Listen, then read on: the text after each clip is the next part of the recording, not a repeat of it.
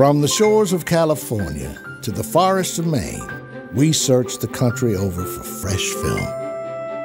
It's not the big producers, it's the moms and pops who make it the freshest. And that's how we at Sidewalk bring it to you, fresh as the morning dew.